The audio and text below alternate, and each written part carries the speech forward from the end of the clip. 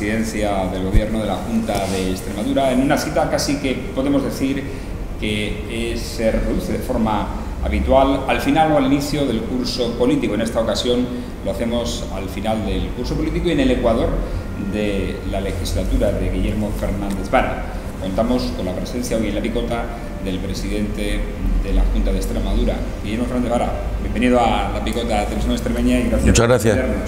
Me hace ilusión, lo veo siempre que puedo, a veces a deshoras, pero como lo redifundís, lo redifundimos, pues lo veo con frecuencia. Eh, tenemos que empezar haciendo esta entrevista una alusión a la familia de Benito, que precisamente cuatro de sus cinco miembros han fallecido. Hoy precisamente esa localidad eh, ha decretado tres días de, luto, presidente. La verdad es que ha sido una semana dura. Gente tan joven, nunca, nunca hay edad para, para, para morir, pero la verdad, niños de promedio, la manera en que se ha producido, el hecho de haber sido además al día siguiente de, de lo que pudo haber sido también todavía más duro eh, de lo que ocurrió en, Valverde de, la Vera, que menos mal que fue a la hora que fue, si hubiera sido otra hora probablemente estaríamos ahora lamentando daños mucho mayores. Pero es verdad, yo ayer lo, hablaba con el alcalde de, Don Benito, eh, así es la vida, es una familia que pilla unos días para irse con los niños a pasar a, pasarlo al Valle del Jerte, a hacer eh, un deporte que tiene tanto contacto con la naturaleza y te cuesta la vida. Es así, podremos hacer todas las interpretaciones que queramos, pero la verdad es que ayer había una familia y hoy, ha dejado de existir y sobre todo recordar mucho a ese niño pequeño con seis años que de la noche a la mañana se ha quedado sin padre, sin madre y sin su hermana. Mm. Triste. Vamos a hablar de actualidad, tenemos que... Eh, hablar prácticamente en este tipo de entrevista y vamos a ir acotando eh, todos los temas que tenemos eh, pendiente para preguntar al presidente. Uno de ellos, quizás el más importante, eh, el de las inversiones y que se anunció en el debate de orientación general de la política de la Junta de Extremadura. Inversiones como la de esa planta de remolacha azucarera que se pretende instalar en espacio Mérida. ¿Qué ventajas tenemos en Extremadura para que esta planta recale en nuestra región? porque hay que recordar que este proyecto no es solo para Mérida, sino para toda la región, muy importante para toda la región. Sí, desde el inicio de la, legislatura hemos estado trabajando muy, muy a fondo y lo sigo haciendo. Yo dedico una parte muy importante de mi agenda, a la, menos conocida, lo dedico a, hacer muchísimos contactos y viajo con muchísima frecuencia a Madrid para establecer contactos con empresas que puedan venir eh, aquí. Tenemos, tenemos mucho suelo en estos momentos preparado no solo espacio Mérida y espacio Navalmoral, que también, eh, sino muchos polígonos industriales de muchas ciudades en que disponemos de mucho suelo preparado, es decir, suelo que permite que una empresa como esta venga aquí, que ojalá consigamos finalmente que se instale y que tú le puedas decir, oye, en dos meses, en tres meses, cuatro meses te tengo los papeles preparados. Si esos suelos no, no estuvieran ya construidos con sus instalaciones y con sus calificaciones, pues imposible. De hecho, yo creo que el valor cualitativo, el elemento positivo que tenemos en estos momentos en varios proyectos, no solo este, tenemos algunos proyectos de mataderos eh, o de macromataderos industriales, de fábricas de, de pele eh, y algunas cosas más, porque tenemos suelo preparado. Si no, evidentemente las empresas, las empresas vienen ahora a intentar tener cuanto antes las autorizaciones. Es un momento en el que hay muchos fondos de inversiones detrás de los proyectos. Yo siempre he dicho que el mayor cambio que yo he notado de la etapa mía anterior de presidente a la de ahora es que antes venían a pedirte dinero y ahora vienen a ofrecértelo. Y vienen a ofrecer eh, financiación para proyectos, ¿no? porque hay mucho dinero por ahí eh, circulando que, está facilitando, yo creo, además el, desarrollo y el crecimiento económico. Es verdad que falta lo más importante, que es acabar con la enorme precariedad que hay en el mercado laboral, pero indiscutiblemente ahora hay, hay proyectos y rara es la semana que no nos viene alguno y estamos con cosas que las estamos trabajando en el corto, otras en el medio y otras en el largo, pero las tienes que llevar todas porque es imprescindible que no se nos vaya nada. El tema energético yo lo veo con una dimensión fundamental para los próximos, para los próximos años porque tenemos muchísimos proyectos. Lo mismo la cosería, yo daba el, dato, el otro día en el debate, hay 3.000 megavatios de proyectos en distintas fases de tramitación en fotovoltaica, que es, que es un disparate. Hay que tener en cuenta que los dos reactores de Almaraz tienen una potencia de 2.000 megavatios entre los dos. Bueno, pues hay 1.000 megavatios más que lo que hay en Almaraz ya preparados para energías de carácter eh, eh, fotovoltaico. Precisamente Dalmaraz también habló en el debate ¿Es posible conseguir eh, que en el caso de que se renueve la licencia de la central nuclear se pueda aplicar una rebaja a la factura eléctrica extremeña? Nosotros hemos planteado, yo lo he dicho desde siempre, creo que España necesita eh, una planificación energética que no hemos tenido ni hemos hecho todavía. Por eso yo creo que estamos a salto de mata, algo que es incompatible con un país que pretenda ser riguroso y serio de cara al futuro. Pero lo primero de todo es que nosotros tenemos que plantear un calendario de cierre de las centrales nucleares. Han cumplido ya su vida, su vida que eran los 40 años y por tanto lo que hay que establecer es un calendario de cierre. Si no hay que cerrarlo pasado mañana, pero sí hay que establecer un calendario, eh, sobre todo para tener alternativas. Si de lo que se trata en estos momentos es que tengamos alternativas a idéntico precio. Porque como esto, sobre esto, como sobre todo, se, se frivoliza mucho y todo el mundo tiene opinión. Pero esto hay que matizarlo, ¿no? Hay que conseguir tener alternativas a la energía nuclear y a todas las eh, fuentes de energía contaminantes pero hay que intentar hacerlo sin que ello repercuta en el bolsillo de la ciudadanía, con lo cual tiene que ser a precio, a precios razonables. De lo que he dicho, en el caso, y además he dicho también, no se puede eh, planificar la energía de un país central a central. cada vez que haya que, prolongar una, hay que replantear la política energética, no, hay que tenerla previamente concebida. En el caso que fuera necesario, no va a ser como hasta ahora, porque cuando en su día se aprobó o se puso en marcha Almaraz no había autonomía no había quien defendiera los intereses de Extremadura y ahora lo hay. Entonces, en el caso que así fuera, pues nosotros tenemos que exigir que aquí se quede algo, obviamente. ¿Por qué? Porque Almaraz se puso en marcha para que Madrid tuviera luz. Desde Extremadura se le mandaba la energía para que Madrid tuviera luz, pero es que es Madrid la que obtiene los beneficios. Primero porque recibe la luz y luego porque recibe los impuestos que la luz paga. Entonces, algo se tiene que quedar aquí. Entonces, hemos planteado alternativamente o un canon que, por cada uno de los reactores, o bien el abaratamiento de la energía eléctrica para los extremeños en un 20% y en un 30% para los que viven en el entorno de Almaraz. Esto yo hace unos años no lo hubiera planteado. Hoy lo planteo porque, entre otras cosas, ya se plantea en otros territorios, como ha ocurrido recientemente en el País Vasco con ocasión de la aprobación de los presupuestos generales del Estado. Entonces hay posibilidades, ¿no? Yo, desde luego, yo no lo he dicho como, como, un brindis al sol o como una estrategia para pasar el debate, lo he dicho convencido de que, de que lo vamos a poner encima de la mesa. De todas formas, en esa estrategia de economía verde y circular que ya anunció en el debate del pasado año, supongo que la energía tiene un peso muy importante. La energía verde, en este caso hablado de, de las plantas fotovoltaicas, ¿se podrán poner, se podrán llegar a desarrollar todas esos 3.000 yo tengo, megavatios, Yo tengo claro eh, que que cosas hay, que hacer para cambiar eh, el, destino climático al que estamos abocados. Yo creo que ya la ciudadanía lo está empezando a percibir. Es decir, el calor que ha hecho este año en el mes de junio, eh, calor ha hecho siempre en, Extremadura y en España, pero tantos días de calor seguidos, en temperaturas diurnas y en temperaturas nocturnas, es consecuencia de que algo está cambiando, para mal porque eso exige mucho mayor consumo energético, eso exige mucho más riesgo de, o, trae como consecuencia mucho mayor riesgo de eh, incendios, de inundaciones, etcétera, ¿no? ¿Qué hay que hacer? Pues dejar de contaminar. Entonces, eh, ¿por qué tenemos un problema? Porque la fuente de energía más barata es hoy por hoy la más contaminante. Entonces tenemos que conseguir no tener alternativas al petróleo, sino tener alternativas a precios parecidos. Y ahí es donde entra en juego, yo creo, que la madurez que el, sector fotovoltaico ha tenido, que hoy día ya se puede poner en, marcha eh, eh, casi sin prima, algo impensable hace 7, 8, 10 años. ¿no? Y de eso se trata, es tenemos que ir poco a poco incorporando fuentes de energía que sean limpias, que sean renovables, que no sean contaminantes, pero que puedan pagarse al mismo precio que se está pagando hoy las que son más contaminantes. Porque hasta que no ocurra eso, la gente seguirá consumiendo aquellas fuentes de energía que sean más baratas, aunque contamine. Seguimos hablando de infraestructuras, eh, regresamos o recuperamos el tema de la, azucarera y otras inversiones que anunció. Eh, ¿Puede este proyecto acelerar el desarrollo ferroviario en Extremadura? Porque evidentemente el tráfico de mercancías por eh, ferrocarril indiscutiblemente no, es necesario. como mínimo nos da razones. Como mínimo nos da argumentos. Es decir, ya no se trata de decirle a usted, no, mire, es que quiero un tren decente, no solo porque me lo merezca como el resto, no somos más que nadie, pero tampoco menos. Es que además no lo quiero siquiera para desplazarme yo o para desplazarnos nosotros, es que lo necesito para el desarrollo económico porque sin este transporte no tengo la posibilidad de, poner en marcha eh, este tipo de, empresas, porque vienen vienen y lo piden. ¿eh? Cuando yo he estado aquí sentado en esta, en esta mesa con estas empresas, lo primero que preguntan es por el transporte de mercancías. Y, nosotros vamos siempre por delante con el compromiso del año 2019, del año 2020, porque es lo primero que te ponen encima de la mesa, algo absolutamente imprescindible. ¿no?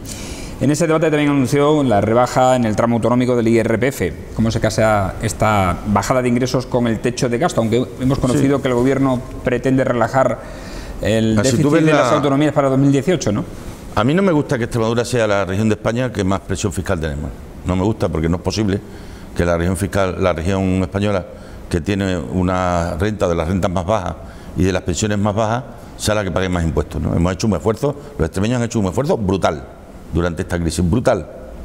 Entonces yo creo que ahora que estamos en crecimientos por encima del 2%, que, eh, es algo que se puede contrastar y que se va a mantener además en los próximos años, es el momento de que los que han estado haciendo el mayor esfuerzo de acuerdo con sus ingresos tengan algún tipo de compensación y por eso hemos establecido para el tramo más bajo eh, una reducción de un punto en el marginal eh, del IRPF que además va a afectar a muchos extremeños, estamos hablando de algo que afecta a más de 400.000 eh, extremeños. ¿no? Creo que además es necesario y es, justo para aquella parte de la población que, que tiene menos ingresos y que ha estado haciendo el mayor de los esfuerzos. Precisamente esta semana hemos conocido eh, la previsión de CEPREDE de crecimiento de, sobre el PIB en 2,2% por debajo de la media nacional.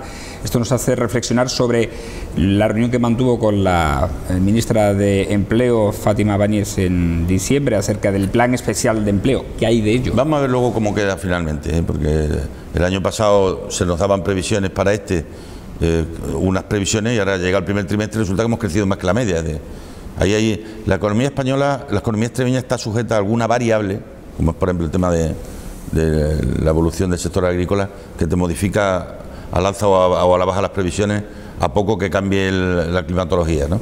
Pero en cualquier caso, cuando yo digo crecimiento estable, ya quisieran muchos países europeos crecer al 2,2. ¿no? y además lo digo y lo diré siempre. Nosotros estamos creciendo por encima del 2% y muy cerca de lo que crece la economía española cuando el resto de comunidades tienen infraestructura del siglo XXI y nosotros lo estamos haciendo con trenes del siglo XIX. Entonces, ¿qué haremos cuando estemos en las mismas condiciones? Entonces, eso lejos de, hacernos caer en un entorno de pesimismo, es todo lo contrario. Estamos siendo capaces, no teniendo los mismos instrumentos ni las mismas herramientas, de crecer eh, en el entorno de lo que están creciendo los, demás. Y yo creo además que, este crecimiento se va a sostener a lo largo de los próximos años. ¿Y sobre el plan especial de empleo?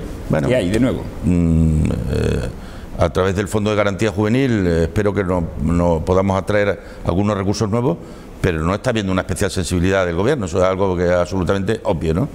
No solo no está habiendo una especial sensibilidad, sino que al contrario, hemos firmado un protocolo con el eh, Ministerio de Hacienda en, eh, en el otoño del 2015 para inversiones extraordinarias y el primer año que tienen que cumplir, que era el 2016, no cumplieron y el segundo año que el 2017 tampoco, ¿no? Con lo cual la sensibilidad que está demostrando Rajoy y el Gobierno de España con, Extremadura brilla por su ausencia. Yo sé que los datos han sido buenos en este último mes de paro registrado. Bueno, en el, primer semestre del año llevamos 20.000 afiliaciones más a la seguridad social. A mí siempre me gusta más el, dato de la afiliación porque está sometido a menos, a menos eh, variables contaminantes, ¿no? Son 20.000 afiliaciones más en apenas seis meses, ¿no? Yo creo que eso es un buen dato. Ojalá que esas 20.000 afiliaciones fueran todas con contratos estables, dignos, muchos contratos precarios. Por eso ahora lo que queda es conseguir eh, y, priorizar, y lo tenemos que, decir todo, la patronal, los sindicatos, las instituciones y los gobiernos, es el momento de subir los salarios y de dignificar el, empleo. Y por esa razón yo creo que es algo que tenemos que llevar a cabo. Hablando de empleo, hablamos ahora de empleo público, ha anunciado también en ese debate eh, la recuperación de las 35 horas para los empleados públicos. ¿Qué ha cambiado ahora para pedir al Gobierno la recuperación eh, de esas competencias que no ha existido antes? Pues que ha mejorado obviamente la situación económica, ¿no? Y además, eh, de todo lo que se suprimió a los empleados públicos, hemos ido poco a poco devolviéndole algunos de ellos, ¿no? La paga extraordinaria que se quitó, los días de libre disposición, y yo entendía que ahora llega el momento de, hacerlo con las 35 horas, con la jornada laboral. Hemos hecho ahora dos cosas. Una, solicitarle al Gobierno que nos devuelva la competencia, que es nuestra. O déjeme usted organizarme a mí, como yo quiero organizar la Administración, ¿no? Y hasta que eso sea así, decir, hasta que nos la devuelva, pues hemos planteado a los sindicatos y se va a, intentar cerrar en, breve el acuerdo. Una reunión que yo mantuve con ellos hace una semana, el llevar a cabo un plan de flexibilización de la jornada laboral. Y además yo creo que el, mundo ha cambiado tanto que no puede ser que lo que único que nos preocupe sea cuánto tiempo está usted sentado en la mesa. en este mundo debería importarnos la productividad, qué es lo que hace usted, qué respuesta da a la, demanda y a la responsabilidad que la, la sociedad ha puesto en usted y no cuánto tiempo tarda en hacerlo, ¿no? porque yo creo que ahí es donde está el, error. ¿no? Porque tú puedes comprar el, tiempo de la gente, pero no puedes comprar su voluntad. Tú tienes que confiar en el empleado público y tienes que dejarlo que se, que se organice.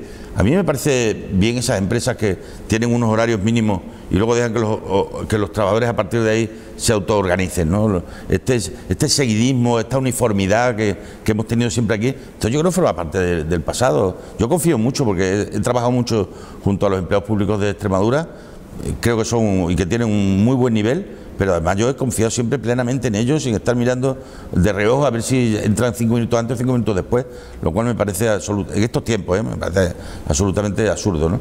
Por eso lo que vamos a hacer es que una parte de la jornada laboral va a ser para no presencial, para formación eh, que online. Estamos desarrollando programas potentes de formación online para poderle ofertar a los empleados públicos y que ellos se puedan organizar mejor la vida.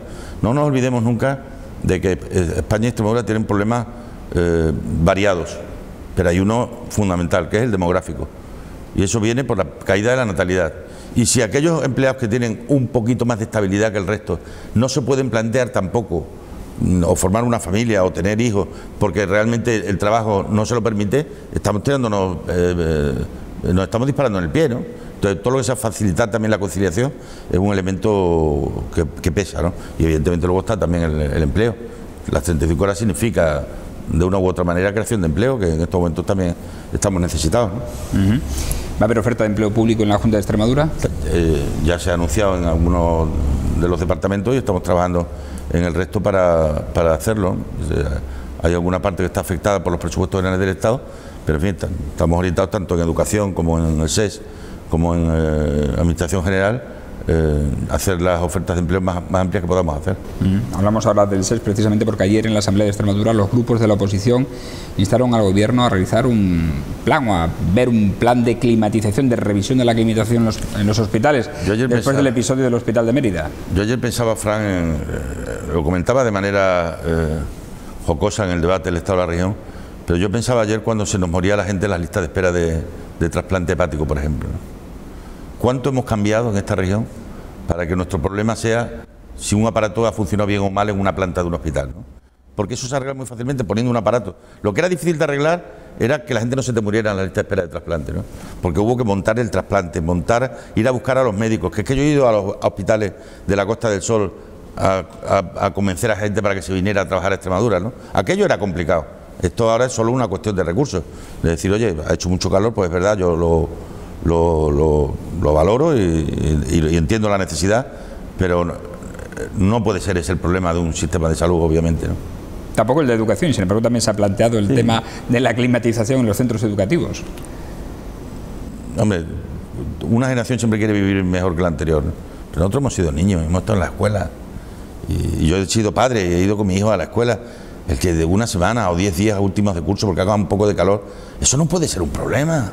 No puede ser de verdad, no por nada, porque creo que estamos o nos estamos mm, eh, maleducando eh, o nos estamos acostumbrando a, una sociedad en el que no puede existir la más mínima, eh, el más mínimo inconveniente, ni siquiera el que se pueda pasar calor algún día, no pasa nada, no, no hagamos de esto una, una, tragedia, porque me parece que la sociedad tiene, tiene otros problemas que resolver, ojalá Ojalá ese fuera el problema, porque eso se resuelve muy fácil, se pone un ventilador, un aparato de aire acondicionado y está, y está resuelto. Hay otros problemas mucho más complejos que son más difíciles de arreglar. Bueno, nosotros hemos estudiado seguramente, yo no sé si en, Villafranca había o no, pero yo con, abrigo en invierno y con un solo, eh, una sola estufa que la tenía el, maestro. Así, era la enseñanza. Yo no he estudiado con aire acondicionado en mi vida, nunca. ni, en, la escuela, ni en el colegio, ni en la universidad, ni, en ningún sitio. Indudablemente. Eh, seguimos hablando de sanidad porque ayer también Podemos puso de manifiesto en la Asamblea la reforma del Centro Sociosanitario de Mérida. ¿Cómo, cómo lo ve? No, los centros... Eh, yo, yo, era eh, consejero de Sanidad cuando pusimos en marcha el Plan de Salud Mental de Extremadura La, reforma psiquiátrica que se hizo en otras comunidades autónomas consistió básicamente en cerrar los psiquiátricos y llenado los centros de acogida de media España de personas indigentes que no sabían dónde tenían que ir, entre otros los de Extremadura porque teníamos los centros hermanos, entre otros el de aquí de Mérida, el de Badajoz o el de Cáceres, se llenaban de personas que venían procedentes de otras comunidades que iban errando por el mundo sin saber dónde ir. ¿no? Por eso yo me planteé desde el primer momento, nosotros íbamos a hacer una reforma psiquiátrica que consistía no en cerrar nada, sino en transformar el modelo.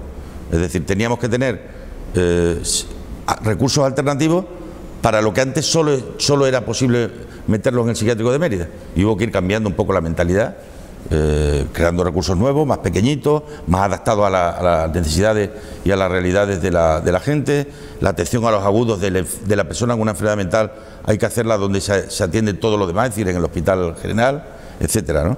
Entonces esa, esa transformación que se ha ido haciendo pues, ha afectado también al propio, al propio centro. Yo entiendo que a veces es complicado eh, asumir los cambios, ¿no?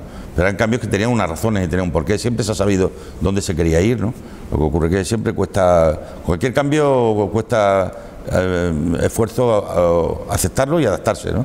Pero en fin, yo agradezco mucho a los trabajadores y a las trabajadoras del centro de Mérida por, el esfuerzo que han hecho a lo largo de todos estos años de ir acompañando este cambio de, planteamiento que se estaba llevando a cabo en la, en la sanidad y en los servicios sociosanitarios de, de la región.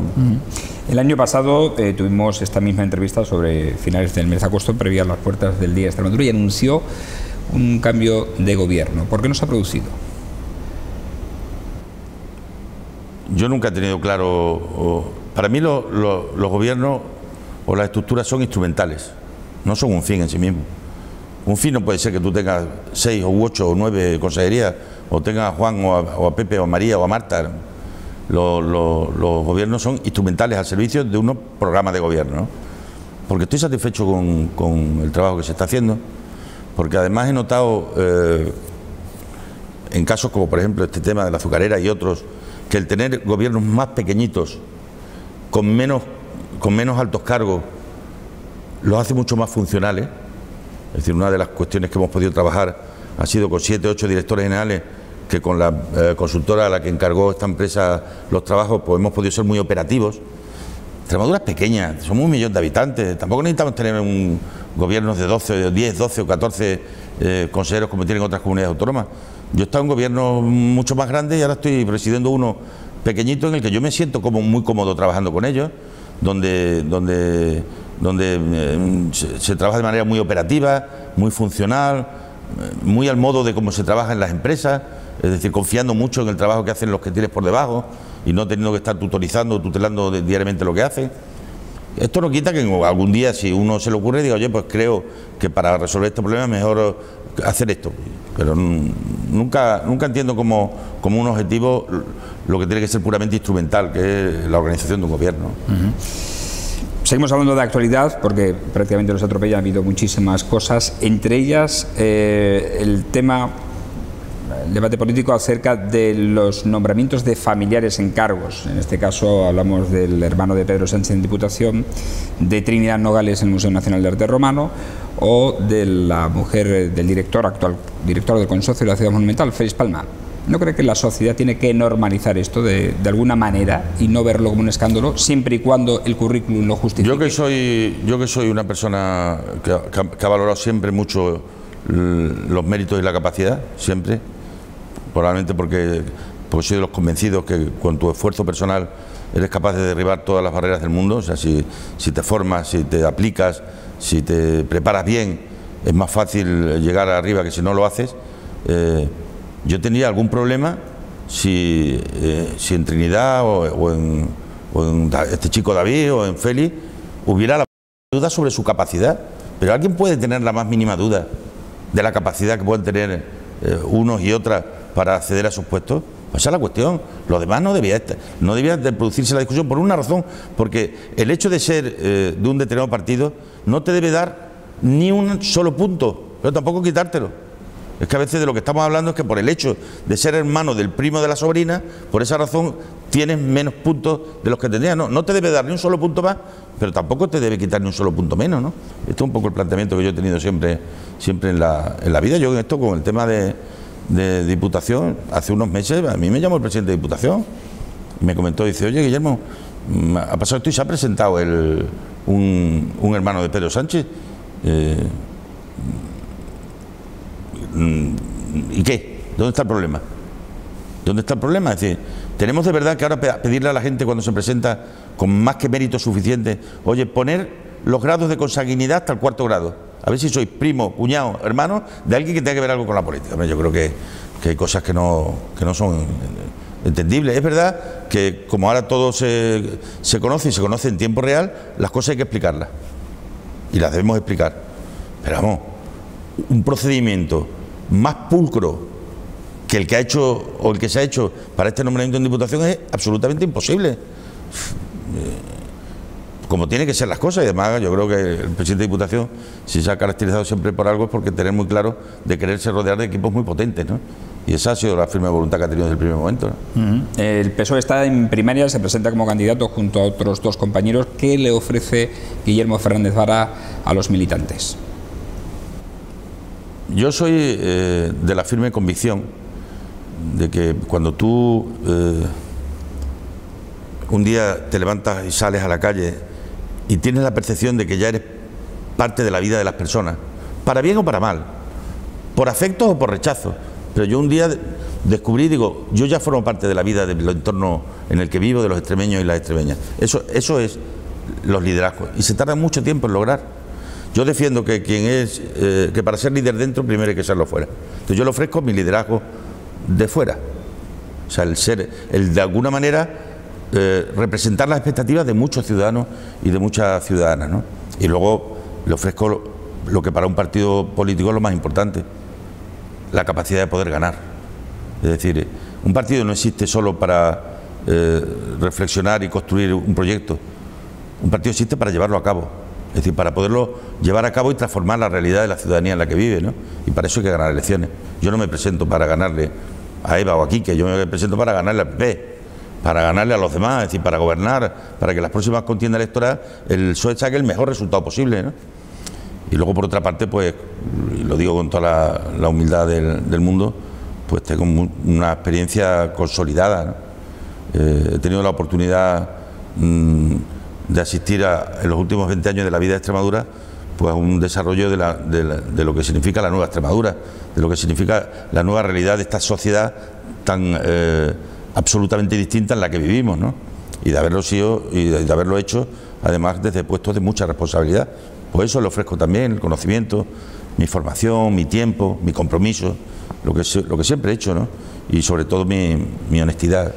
O sea, a mí, después de tantos años, puedo seguir mirándole a la cara a los extremeños, a las extremeñas, a ti, es porque, porque tengo los la firme convicción de que mis manos están limpias y que lo, van a estar absolutamente siempre. Y eso hoy también es un valor en sí mismo, ¿no? saber que tú has podido acertar o equivocarte en tu vida, pero que nadie tenga la más mínima duda sobre tu honradez, eso es algo también muy importante. Esta campaña de la Secretaría General de Extremadura está siendo mucho más tranquila que la nacional, pero aún así no cree que hay demasiados procesos electorales en el PSOE. Bueno, venimos de una venimos de otra de otra de otras costumbres, ¿no? Y evidentemente choca.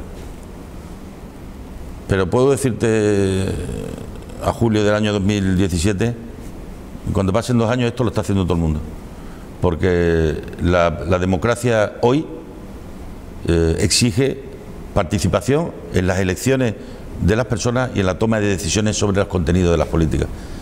¿Por qué el PSOE se ha metido en esta dinámica antes? quizás puede ser el partido más, más antiguo, el que tiene más tradición democrática o el que tiene más largo recorrido, ¿no? Pero esto al final lo va a hacer todo el mundo, lo va, lo va a exigir. Eh, los partidos si no se van a quedar sin gente. Si los partidos quieren seguir teniendo... Pero no habría que regularlo un poco mejor. El tiempo lo irá diciendo, ¿no? Aquí hemos tomado la decisión para las primarias regionales de que sea casi sin avales y a doble vuelta, ¿no? Para facilitar aún más la participación. El tiempo lo dirá. Yo lo que sí puedo decir que me siento cómodo eh, con este modelo y además por otra parte lo estamos haciendo con mucha normalidad. Yo hago mi tarea de gobierno a lo largo de todo el día y lo que hago por las noches es que eh, asisto a algunos actos con compañeros y compañeras, porque además hoy con las redes sociales todo ha cambiado. Si, hoy, si yo estoy convencido que las próximas campañas se harán casi solo en redes, a través de, de, vídeos. Lo audiovisual tiene una, potencia, como bien sabéis vosotros, que no es sustituible por nada, ¿no? Y eso, y eso así será. Yo puedo, en cualquier momento del día, mm, coger mi móvil y mandarle a, la ciudadanía en tiempo real un mensaje sobre aquello que quiera, ¿no? Ya no hay que trasladarse, ya no hay que desplazarse, siendo verdad que es necesaria la empatía, la cercanía, la proximidad, el mirarte a los ojos, pero es verdad que hoy día los mensajes son multidireccionales y los puedes mandar a la hora que tú quieras.